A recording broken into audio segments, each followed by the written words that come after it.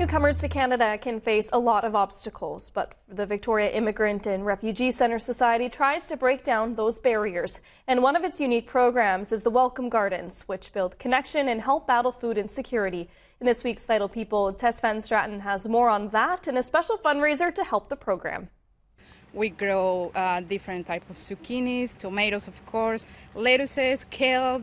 Sinit Munoz shows us what's being grown in a little plot in Victoria's North Park neighborhood as part of the Victoria Immigrant and Refugee Center Society's Welcome Gardens program. We started uh, growing uh, multicultural food gardens and teaching newcomers, immigrants, and refugees with the mentorship of the already expert gardeners of Victoria how to grow their own food here.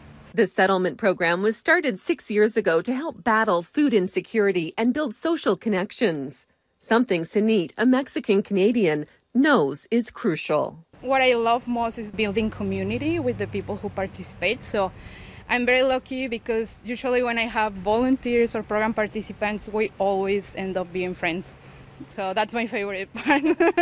Christina Lee also knows what it's like to be a newcomer. She moved to Canada from China 10 years ago and is also a big believer in community building. The Victoria Immigrant Refugee Center Society been helping me when I was a newcomer, so I was super grateful. And then makes me thinking, what can I do to back to the community? So I was decided, okay, why not we're having something positive and cheerful for everybody to feel included in the community.